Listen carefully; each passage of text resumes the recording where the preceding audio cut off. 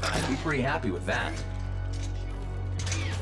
What is going on ladies and gentlemen, my name is eColi Espresso and welcome back to another Infinite Warfare video here today on the channel. In this one, we're take a look at something that is closing out the 12 Days of Winter within Infinite Warfare, that event for free gifts to players every single day logging on, as well as then something a little bit interesting about it here in particular. But that said, if you guys do enjoy the video, make sure you drop a like down below, and of course, if you guys are new to the channel, make sure you guys subscribe, and if you guys want to stay up to date with everything outside of YouTube, Twitter's the best place to get connected with me here with that, and that link is down there in the description below. But today, finishing off the 12 Days of Winter, the final thing that we're getting here is actually a legendary variant of the K-Bar or KBAR, and this one is actually awesome. All you have to do to get it is simply log on as with the other ones. You just go and open up your free supply drop in the Quartermaster, which has the designated amount of time left on it, but for today's, it is the K-Bar Igloo Buster legendary variant, and the specific part that everybody may love about this one is that it is a nuke variant. You can get a nuclear or deatomizer strike here with this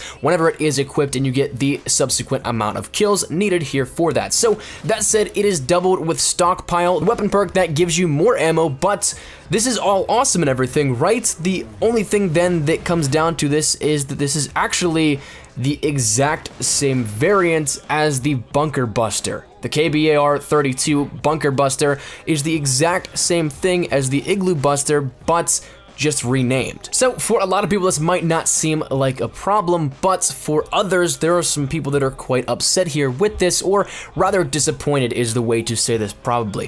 For those of you guys that don't know, it is a little bit tougher to get salvage in Infinite Warfare. You basically have to rely on supply drops, and for those of you guys that are like me and don't buy COD points and supply drops, it does take a lot of time to get the necessary amount of keys to get the amount of supply drops needed to get any sort of real amounts of salvage. There are daily bonuses, yes, and if you have the season pass, it doubles up every so often, but for the most part, it is a little bit tougher than we may have hoped for or even saw in the beta to get salvage. So some of these weapons to unlock them via salvage definitely take a little bit of time, and the K-Bar 32 that was the Bunker Buster, that one with this, the nuke variant on it, was something that was a legendary item. So it took the increments of 200, 500, and 2000 salvage to unlock via salvage. So 2700 salvage is needed to unlock this naturally, but it is something that people got for free for simply logging on today. So some people feel like they got cheated here out of this. It was a brand new variant that was introduced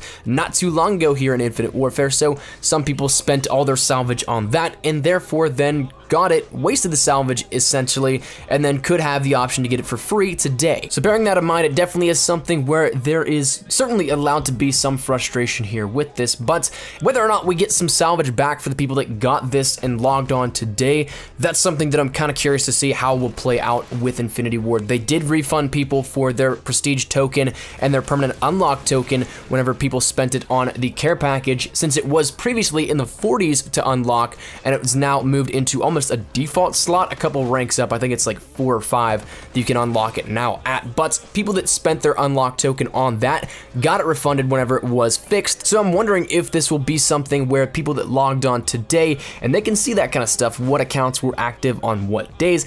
That is something that I'm wondering if they'll take that into consideration and then refund salvage for those people that did already spend it on the other K-Bar variant. So that said, it is something where you can log on right now get a free nuclear variant with the KBAR 32, the Igloo Buster. But if you have something where you already spent the salvage on the Bunker Buster, it is totally understandable if you're a little bit frustrated. But that's going to wrap it up. Just want to let you guys know about this, touch on the subject a little bit because once again, kind of got a duplicate here for some people, so it's interesting to see where this falls in the opinion of everybody. So that said, if you have an opinion on it, drop your thoughts down there in the comment section down below. I would love to hear your thoughts on all this. Leave it down there in the comments, but if you guys did enjoy the video, make sure you drop a like down below. And of course, if you guys are new to the channel, make sure you guys subscribe to stay up to date with everything Infinite Warfare, Modern Warfare Mastered, Black Ops 3, and anything Call of Duty related here up on the channel. So one final thing, if you guys want to follow me over on Twitter, once again, link is down there as well. That'll keep you guys in touch with me more so outside of just YouTube.